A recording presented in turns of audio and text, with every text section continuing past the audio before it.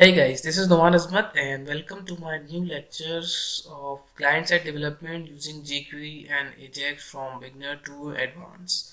We are going to start the lectures of jQuery and Ajax for those people who are beginners in programming and working with server-side and want to learn the client-side client-side tools like jQuery and Ajax and want to develop their application with the help of using jQuery and Ajax. Uh, so the course is for those beginners and we are going to cover complete basics and advanced and at the end of this lecture we are also going to make a complete project with the help of using jQuery and Ajax.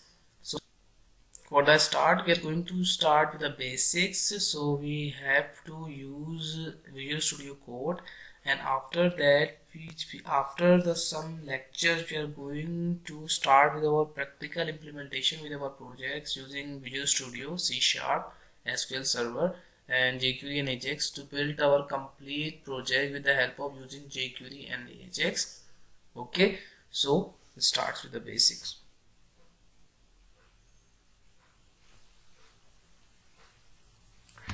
Okay guys, what you need to do is firstly you need to install a Visual Studio Code. If you don't have so go to the Chrome and install Visual Studio Code. And because we are going to start with the basics with the help of this tool Visual Studio Code okay? And with that uh, I'm going to firstly create the folder here.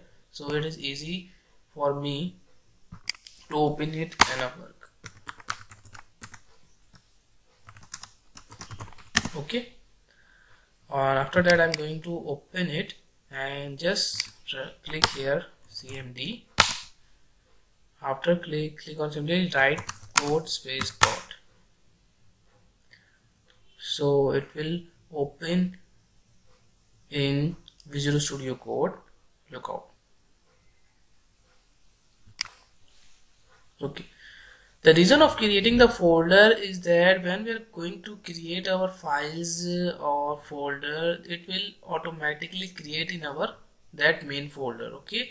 So first of all what I'm going to do is I'm going to create a main file that is index.html okay? I, I just create my new file and uh, it will automatically add it in my main folder that I have created earlier okay?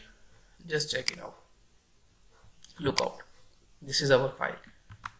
And uh, I'm going to suggest you to go for extensions and create and add a bootstrap for bootstrap 4 font or and I suggest you to install a bootstrap 4 font awesome and free pro snippets. So it will be helpful for, for you guys. Okay so I have created here a file index.html and what I'm going to do is I just write b4 here b4 okay? And I just press add a double tap. The reason of create why I'm doing this look out b4 and dollar lookout it will automatically edit the bootstrap link javascript and our jQuery okay? This is for our bootstrap 4 snippet that I have show you. Okay? So we are going to start with the basics of jQuery Ajax. What you need to do is after creating your page I'm going to show you again how to create a page. Okay? This is our page and I'm going to remove this and just dot b4 dollar. Just double just tab here. Okay it will automatically edit our scripts and the link of bootstrap. Okay? After that you have to add the script tag here. Okay?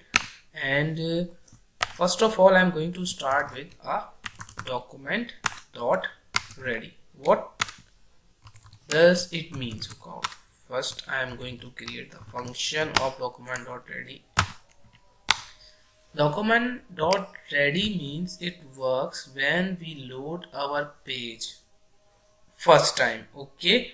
It means that whenever we load our page in first time in a browser the document ready function runs. Just like just same like that in our server side if you are if you are working on the ASP.NET so we have a pay post back method or page load method. So it means that whenever the page runs first time the page load method is called the same like that in the client side document ready functions work. Okay.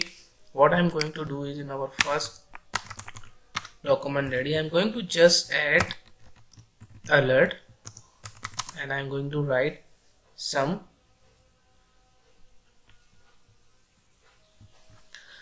some examples here.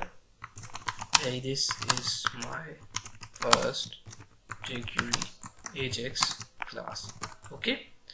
And if I just right click here and I copy path and I'm going to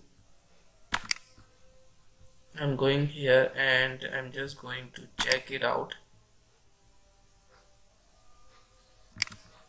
And I'm going here and I'm checking the output of my file and paste here the path of my copy. Lookout whenever it runs we have option. On document ready means the first time when we have to load the page the following document will pop up or read. So I have added alert option in document.ready hey this is my first jQuery class. Okay if I just click on okay. Now what I'm going to do is next I'm just going to add here uh, input text. Input type text id I'm going to just set the id here. Text okay? And uh, just like just same like that what I'm going to do is I'm going to add the name here and I'm going to copy the ID how to get the value from text box in jQuery so how can you do this? You just create a variable here where a is equals to just add the dollar sign brackets double inverted comma with the id we use hash and paste the id of text box text one okay? And here I'm going to set a value. Okay? These following lines get the value from the text box with the help of using jQuery if you want to get the value of text box with the help of jQuery you can use that following line okay? Also what I'm going to do is I'm going to create another input and I'm going to here add a button okay? Value is equals to value is equals to save and the next thing is that what I'm going to do is I'm also going to set the ID here. What does it mean? I'm going to I set the ID get value okay? Okay and I'm also going to add some classes here just like BTN and BTN success. And just look out the output you don't have any output. Okay? So why? Let me check the output first. Look out. This is our document ready. Event fires on our page load and we have an alert. And this is our text box and this is our button. Okay? Now the next step what we're going to do we have to get the value of text box that we have right here. And just when we click on the save button save the following pop-up of alert will show with with the text box input that we in will that we will input in our text box. Okay? So when we click on save button the following pop-up alert will pop up and the text we have inserted in our input text box will show in our pop-up. Okay so what we're going to do is for that I'm going to remove this on our document ready. I'm going to create a click event in our button button click. So how to create a click event? Just write dollar brackets double inverted comma hash at the value okay? And after that just add dot. We have a click event and add a function under click double bracket. Okay. And now what we are going i'm going to do is i will i have show you a method how to get the value of text box. Okay. Var a dollar and double inverted comma hash set the id okay. Sorry and set the id here and dot val okay? Dot val and var a equals to okay? And just set there a alert. In a alert i'm going to set a variable a. Now let's understand the following lines okay? I have set here get value this is the id of my button. I'm going to i am going to create a click event function. This function get the value of text box with the help of this line okay and will show in alert okay. The click event functions fires when we click on a button. So we how to create a click event function button click event function with the help of jQuery we have a following line. Okay? As we have to set we have to set it on our double inverted comma with the hash sign in dollar and a curly braces and after that we have to set a click and in a click we have to create a function. And after that I'm going to get the value of text box with the help of ID we have to get the value with the help of ID in jQuery with the following line okay? And after that what I'm going to do is I'm going to just simple alert this on alert pop-up. So just go and check the, the following output okay just retry this. Okay we have nothing. And I'm going to set it. Pakistan if I click on the save button look out. The following Pakistan input text box input will pop up in our alert. Okay? And if I click on again it will show again. Okay? So this is how can you create a click event in jQuery the next step what I'm going to do I'm I want to add this on my table. I'm going to create here a table. Simple. Table dot table dot table bordered bordered okay t head okay in a t head we need tr in a tr we need the h into 2 just tap. Okay. Set the headers. The headers is country and the action. Okay and I'm going to set here a T body just T body okay. What I'm going to do what I'm going to do the next.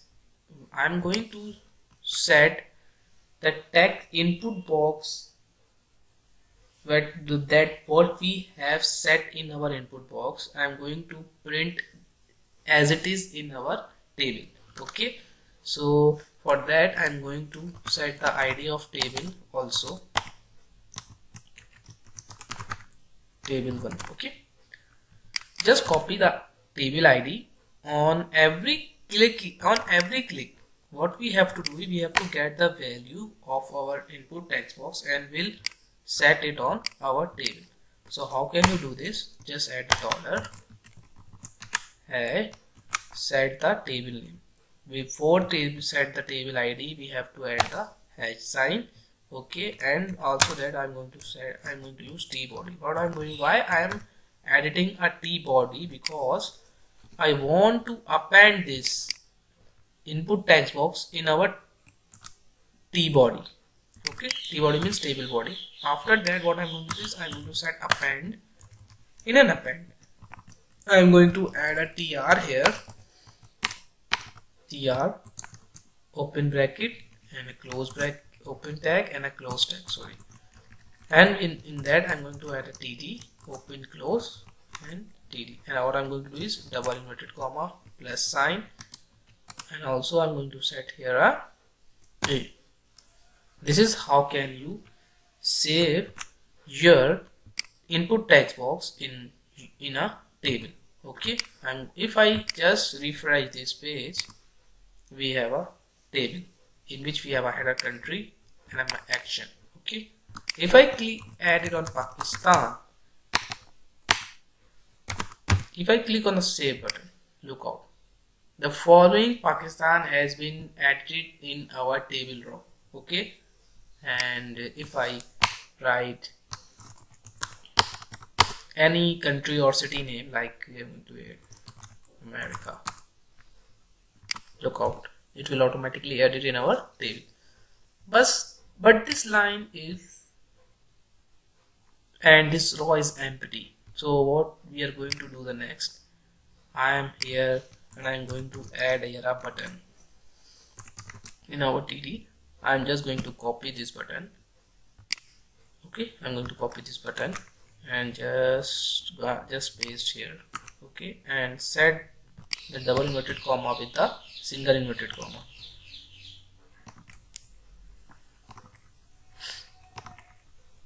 Okay like same that and just set here a value. Edit okay?